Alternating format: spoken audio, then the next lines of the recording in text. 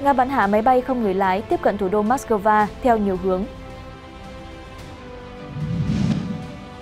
Khoảnh khắc UAV cảm tử Nga phá hủy cứ điểm của Ukraine gần Soleda. Quân đội Ukraine quét dọn các bãi mìn của Nga. Cựu Thủ tướng nghĩ chiến lược Ukraine của NATO đã thất bại.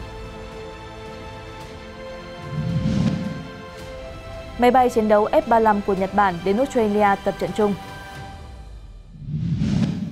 Xin kính chào quý vị và các bạn đã theo dõi chương trình Thời sự quốc tế được phát sóng hàng ngày trên kênh youtube Thế giới nghiêng. Vừa rồi là những thông tin chính sẽ có trong chương trình, còn bây giờ là nội dung chi tiết. Mới đây, một máy bay không người lái UAV bay về hướng thủ đô Moscow vừa bị lực lượng phòng không Nga bắn rơi. Thông tin sơ bộ cho thấy không xảy ra thương vong hay thiệt hại. Các đội phản ứng đang làm việc tại hiện trường. Trước đó, hai sân bay Domodedovo và Vnukovo ở thủ đô Moscow phải tạm dừng các chuyến bay. Việc tạm dừng hoạt động của hai sân bay khiến 10 chuyến bay phải hạ cánh xuống sân bay khác. Bộ Quốc phòng Nga cho biết, lực lượng phòng không nước này cũng bắn rơi hai máy bay không người lái ở vùng Bryansk, phía tây nam Moscow. Bộ Quốc phòng Nga vừa công bố video ghi lại cảnh phá hủy cứ điểm của Ukraine bằng máy bay không người lái UAV cảm tử. Đoạn video do Bộ Quốc phòng Nga công bố cho thấy UAV cảm tử Nga tấn công một cứ điểm kiên cố của Ukraine gần Soleda và phá hủy mục tiêu này. Soleda cách Bakhmut khoảng 10 km về phía đông bắc. Cả hai đô thị là những thành trì quan trọng của Ukraine tại Donetsk. Soleda có diện tích hơn 12,3 km vuông và dân số trước chiến sự gần 10.500 người, sở hữu các mỏ muối và thạch cao lớn. Quân đội Nga tuyên bố kiểm soát Soleda từ tháng 1. Cựu Thủ tướng Ý Giuseppe Conte mới đây cho biết những nỗ lực của phương Tây nhằm trang bị vũ khí cho Kiev và phá hủy nền kinh tế Nga đang chẳng đi đến đâu. Cựu Thủ tướng Ý Giuseppe Conte cho biết những nỗ lực của NATO nhằm đánh bại Nga trong cuộc xung đột ở Ukraine đã hoàn toàn không đạt được mục đích khi Moscow tiếp tục đứng vững trước các cuộc phản công đang chùn bước của Kiev và các lệnh trừng phạt của phương Tây.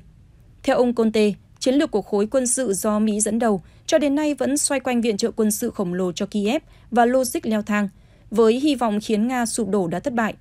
Ông nhắc lại rằng Ukraine chưa bao giờ đẩy lùi được lực lượng Nga khỏi Bakhmut, một thành trì then chốt của Donbass mà Nga chiếm được hồi tháng 5 sau nhiều tháng giao tranh ác liệt. Trong khi đó, các biện pháp trừng phạt khắc nghiệt do phương Tây áp đặt đối với Nga không làm nước này phá sản hay làm tê liệt nền kinh tế của nước này. Ngoài ra, ông Conte còn tuyên bố rằng cuộc xung đột ở Ukraine đã bộc lộ sự bất lực của EU trong việc phát triển một chiến lược chung hiệu quả và thể hiện sự lãnh đạo kinh tế và chính trị tự trị. Thay vào đó, nó lại trở thành một dấu hiệu khác cho thấy khối này đang khuất phục trước Mỹ. Quân đội Ukraine vừa qua đã công bố đoạn video ghi lại cách đối phó với các bãi mìn phòng thủ của Nga dọc theo tiền tuyến phía Nam. Trong đoạn video, lực lượng thủy quân lục chiến Ukraine đã sử dụng các phương tiện khá giống với xe phá mìn M58, MICLIC để phóng dây chất nổ về phía các bãi mìn của Nga. Dây chất nổ sau khi được kích hoạt đã quét sạch toàn bộ mìn trong khu đất, tạo ra một khu vực an toàn cho bộ binh và xe thiết giáp đi qua. Theo truyền thông Mỹ, các bãi mìn hiện là nguyên nhân chính khiến cho chiến dịch phản công của Ukraine tiến triển chậm chạp. Kiev mới chỉ nhận được khoảng 15% số thiết bị phá mìn mà họ yêu cầu từ các nước phương Tây. Ngoài ra, phần lớn các bãi mìn được thiết lập ở các khu vực trống trải, không có nhiều chỗ để ẩn nấp, nên các phương tiện già mìn lớn rất dễ trở thành mục tiêu cho pháo binh Nga. Theo Sputnik News, do thời gian huấn luyện quá ngắn nên khả năng phi công Ukraine sẽ không đủ năng lực lái tiêm kích F-16 mà phương Tây viện trợ. Ukraine sẽ nhận được một số lượng chưa xác định F-16 do Mỹ sản xuất, theo thỏa thuận giữa các nước thành viên tổ chức Hiệp ước Bắc Đại Tây Dương NATO với chính quyền Kiev. Về phần mình, Washington sẽ bắt đầu đào tạo phi công và lực lượng bảo trì cho Ukraine. Lầu Năm Góc dự định sau khóa đào tạo tiếng Anh cho phi công vào tháng 9, khóa huấn luyện bay sẽ bắt đầu vào tháng sau đó.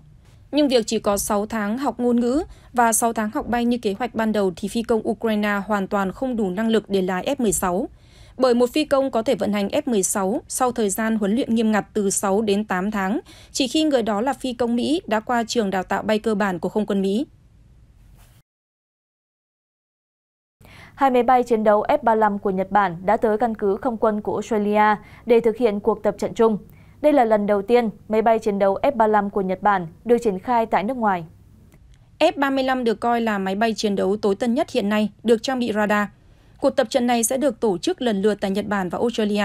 Dự kiến vào hôm nay 29 tháng 8, 36 chiếc F-35 của Australia cũng sẽ tới Nhật Bản để thực hiện cuộc tập trận chung tại Nhật Bản. Cuộc tập trận chung này là nhằm thể hiện việc thực hiện hóa thỏa thuận tiếp cận đối ứng vừa có hiệu lực. Theo đó, Nhật Bản và Australia lần lượt triển khai máy bay F-35 để tham gia tập trận chung, tạo tiền đề cho những hoạt động huấn luyện, tập trận chung ở quy mô lớn và phức tạp hơn. Mục đích là nhằm hướng tới thực hiện một khu vực Thái Bình Dương tự do và rộng mở với những tác động của tình huống khẩn cấp thông qua việc quân đội hai nước có thể thăm viếng lẫn nhau, sử dụng vũ khí, đạn dược khi tập trận, cùng tham gia xét xử khi có những sự cố trong khi thực hiện thỏa thuận. Chuyển sang một thông tin khác, mặc dù đã bị kết án 8 năm tù, nhưng cựu Thủ tướng Thái Lan Thaksin Shinawatra có thể xin ân xá của quốc vương. Giám đốc trại tạm giam Bangkok, nơi ông Thạc Sìn đang thụ án cho biết, ông Thạc Sìn giống mọi tù nhân khác đều có thể xin hoàng gia ân xá với những lý do chính đáng. Sau đó đơn sẽ trình lên Bộ Tư pháp, Ban thư ký nội các và cuối cùng là văn phòng thư ký riêng của quốc vương Thái Lan, nơi sẽ đề xuất hoàng gia ân xá. Đơn xin ân xá sẽ được gửi kèm với các tài liệu khác chứng minh những đóng góp trước kia cũng như tình trạng sức khỏe của người làm đơn. Ông Thạc Sìn, 74 tuổi, bị kết án 8 năm tù cho ba bản án vào hôm 22 tháng 8, ngay sau khi trở về nước lần đầu tiên sau hơn 15 năm sống lưu vong ở nước ngoài. Ông bị đưa đến một nhà tù ở Bangkok. Tuy nhiên, ngay đêm thụ án đầu tiên, ông phải nhập viện do một số vấn đề về sức khỏe. Mới đây, công ty Xiaox của Trung Quốc đã khai trương nhà máy thịt nhân tạo đầu tiên của quốc gia tại thành phố Thượng Hải. Sự kiện đánh dấu bước tiến lớn trong quá trình đưa thịt nhân tạo tới gần người tiêu dùng Trung Quốc trước khi chúng được sản xuất quy mô lớn.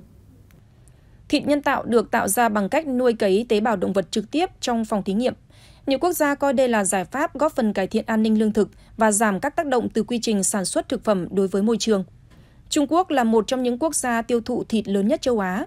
Nước này đã đặt mục tiêu tìm nguồn protein động vật bền vững để đáp ứng nhu cầu ngày càng tăng của 1,4 tỷ dân. Năm ngoái, chính phủ Trung Quốc đã bày tỏ sự ủng hộ đối với việc phát triển thịt nhân tạo để làm nguồn thực phẩm, qua đó giảm phụ thuộc vào hàng nhập khẩu. Điều đáng bàn là thịt nuôi cấy có chi phí sản xuất cao, do vậy việc phân phối rộng rãi ra thị trường, ngay cả khi có sự chấp thuận của các cơ quan quản lý, vẫn là một thách thức. Theo CEO Jiang Lingyang, cơ sở thí điểm vừa khai trương sẽ làm giảm chi phí sản xuất thịt nhân tạo xuống dưới mức 222 đô la một kg, giúp sản phẩm của công ty này cạnh tranh được với các loại thịt cao cấp. Việc ra mắt một cơ sở sản xuất thương mại vào năm 2025 dự kiến sẽ tiếp tục làm giảm chi phí sản xuất. Vừa qua, cơ quan vũ trụ Nhật Bản đã hoãn phóng tàu thăm dò mặt trăng Moon Sniper vì thời tiết xấu. Tên lửa H-2A đáng lẽ được phóng lên từ đảo Tanegashima ở miền nam Nhật Bản, mang theo một vệ tinh nghiên cứu mà Nhật Bản hợp tác với NASA và cơ quan vũ trụ châu Âu chế tạo. Tuy nhiên lại bị hoãn với lý do gió tầng trên không thỏa mãn các yếu tố để thực hiện. Đây là lần thứ ba cơ quan thăm dò vũ trụ Nhật Bản JAXA hoãn phóng tàu thăm dò và không cho biết ngày phóng được rời đến khi nào. Tuần trước, Ấn Độ đáp thành công tàu đổ bộ xuống cực Nam Mặt Trăng, làm nên chiến thắng mang tính lịch sử trong một trong hai quốc gia đông dân nhất thế giới và chương trình khám phá vũ trụ với chi phí thấp. Trước đó, chỉ có Mỹ, Liên Xô cũ và Trung Quốc thành công khi đưa tàu thăm dò lên mặt trăng, nhưng chưa nước nào đáp xuống khu vực cực Nam Mặt Trăng. Thành công của Ấn Độ diễn ra chỉ vài ngày sau khi tàu thăm dò của Nga thất bại khi cố gắng hạ cánh xuống khu vực này. Vừa rồi là những thông tin mới nhất về tình hình thế giới mà chúng tôi muốn gửi đến quý vị trong chương trình ngày hôm nay. Cảm ơn quý vị đã theo dõi kênh youtube Thế giới nghiêng. Xin kính chào và hẹn gặp lại.